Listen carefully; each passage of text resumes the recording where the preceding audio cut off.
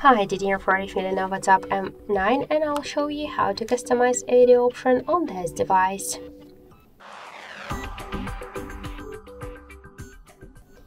So open first the Movie Search application. Here in AOD section select one from the available tabs.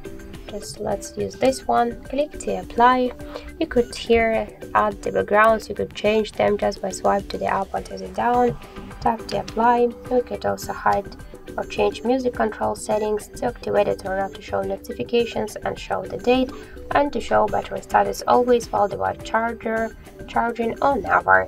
Let's go back, switch AOD to the settings, tap to always on display and here we could show it on lock screen always while you are charging on music. We could use these two options separately or together.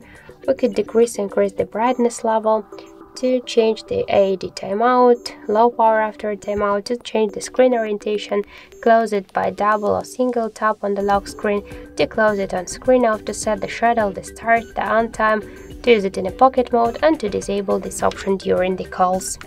So that's it, that's how to customize AOD option on while Lenovo Tab. That's it, thank you for watching and if you find this video helpful, leave thumbs up and subscribe.